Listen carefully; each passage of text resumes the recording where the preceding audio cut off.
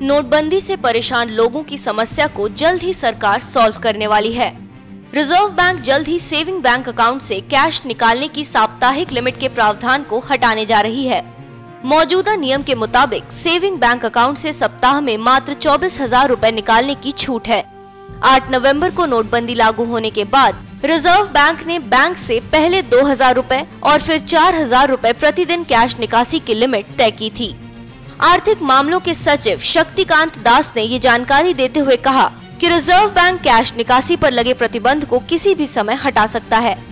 वहीं एक हफ़्ते में बैंक से महज चौबीस हज़ार रूपए ही निकालने की इजाज़त दी गई थी।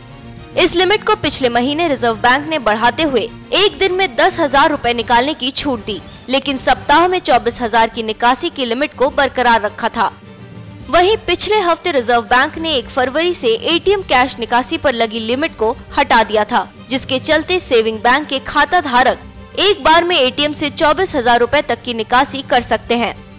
हालाँकि उसने एटीएम से एक हफ़्ते में चौबीस हज़ार रूपए की निकासी की लिमिट को बरकरार रखा था। साथ ही बचत बैंक खातों से चौबीस हज़ार रूपए की साप्ताहिक निकासी लिमिट को तब रिज़र्व बैंक ने जारी रखा था। एनएमएफ न्यूज़ की रिपोर्ट।